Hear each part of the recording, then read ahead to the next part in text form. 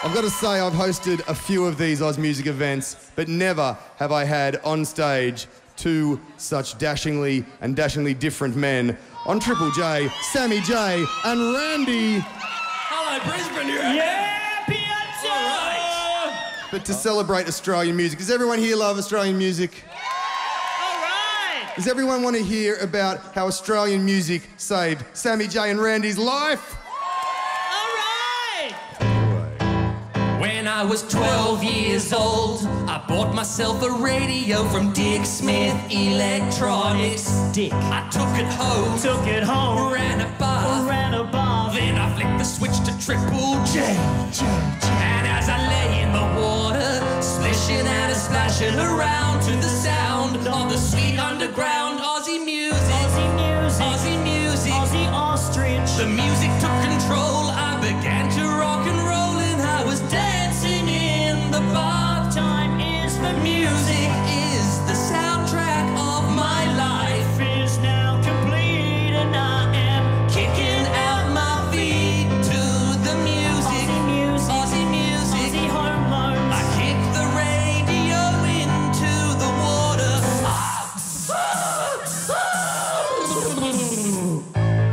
Triple O, what's your emergency? My son Sammy J Do you know what happened? I think he was electrocuted. Is he breathing? I don't know. Oh, I'll check. Oh no, don't touch him! Ah!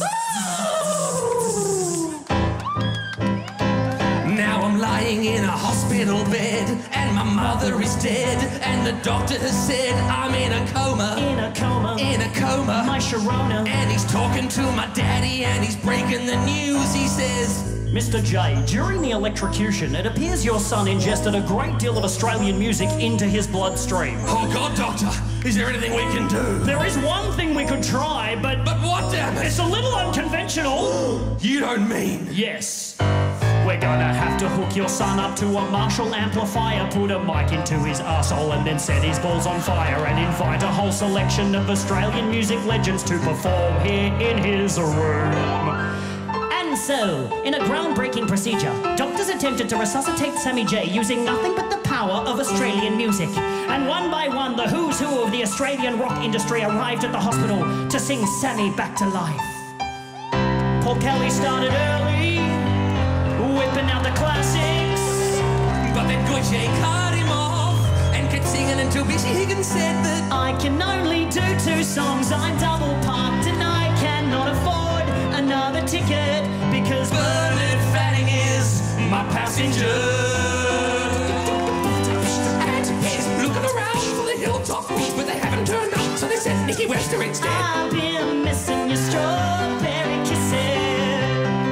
Then Jimmy Rogers came in, and when he started to sing, it nearly brought Sammy back. But then he had a heart attack. Doctor, he's getting worse. It appears that Nikki Webster to UMI transition overwhelmed him. What do we do? We need a sedative. Get me 10 dBs of Angus and Julia Stone. Stat. We came as fast as we could. We'll inject a little song into your big red vein. It's working.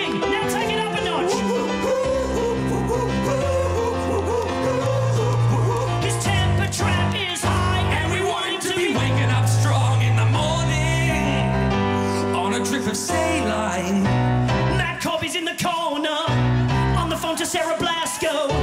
She rushes in and she says, Is he awake or is he dead? And who's that dude with the purple head? My name's Randy. It's, it's very nice to meet you, Miss Blasko. I'm a big fan. Randy, this is my flashback. Yeah, I know, Sammy, but I've come back from the future to share some very important information with the doctor, so shut up and get back in your coma. Okay. Doctor, Sammy J has not purchased a new record since 2001. He'll only respond to the classics. So I brought along some friends. Can we come inside to see how he's feeling?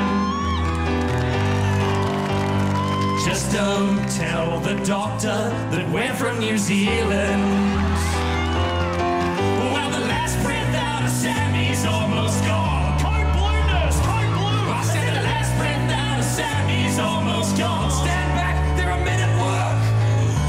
Men at work. Sammy J still under? Can we wake him from his slumber. And oh no, here comes Peter Garrett. Flew straight in from Canberra. It's too late, Mr. Garrett. He's gone. And the entire Australian music industry gathered around Sammy J's deathbed to say their final farewell to the brave little boy that had captured their hearts. And we may never meet again.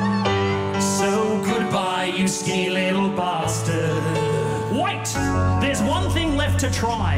He said he'd never tour again, but he's our last hope. Nurse! Release the Farnsey!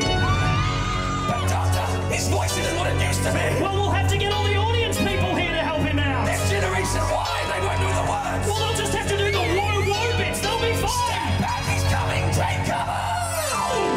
You're the voice, try and understand it. Making noise and him up. Everybody! Louder! He's stabilizing. He's gonna be okay. And so it was. Thanks to Whispering Jack, Sammy J woke from his coma and partied all night long with the past, present, and future of Australian music. And now, as an old man, Sammy J fondly remembers that night. And I'll tell you a little secret he still listens to Triple J in the bath. Dancing in the bar soundtrack of my Aussie music. Ladies and gentlemen, Sammy J and Randy. if you are in Brisbane, make sure you, one, you check them out at the Powerhouse the next couple of nights in Brisbane. Not too much power though; they don't go too well during that. Ladies and gentlemen, Sammy J and Randy here live for Ausmusic Month on Triple J.